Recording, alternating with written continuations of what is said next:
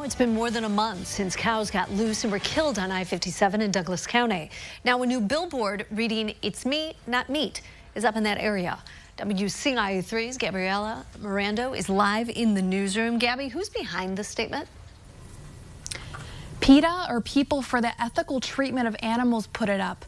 It's a memorial billboard for the cows that died last month. You might remember seeing this video. It's from when a semi-truck crashed along I-57. It was carrying cows. About 20 were killed and another 16 got loose. PETA's billboard urges people to remember the cows that died. Will uh, point out that these were feeling sensitive living beings um, who were, you know, thrown across the roadway and ultimately many of them died, reminding people that animals are individuals. They're not um, they're not just objects. PETA tracks other incidents like this involving animals.